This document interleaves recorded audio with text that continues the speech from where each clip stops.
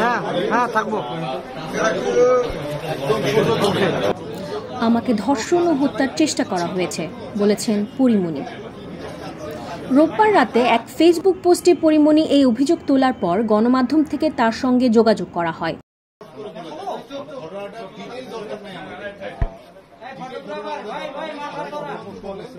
কার কিংবা কাদের বিরুদ্ধে অভিযোগ তা স্পষ্ট না করলেও এই অভিনেত্রী বলেছেন, তিনি পুলিশে জানিয়েও ফল পাননি।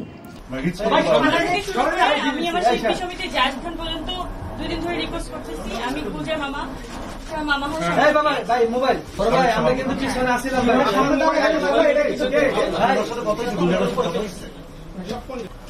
আচ্ছা এদিকে পুলিশ বলছে এই ধরনের কোনো অভিযোগ তারা পায়নি।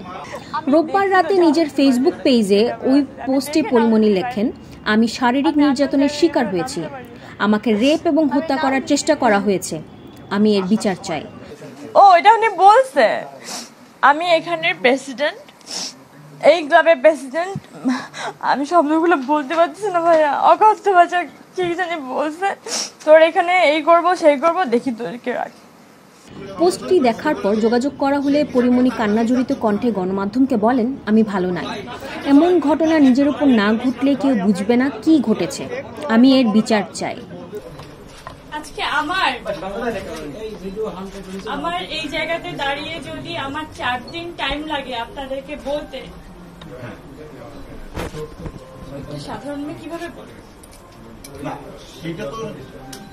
আমি একজন সাধারণ মেয়ে হিসেবে একটা সাধারণ মেয়ে যেভাবে ট্রাই করে আমি সেভাবে ট্রাই করছিলাম।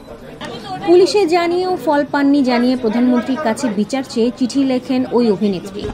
তার ওই পোস্ট দ্রুত সোশ্যাল মিডিয়ায় ছড়িয়ে পড়ে।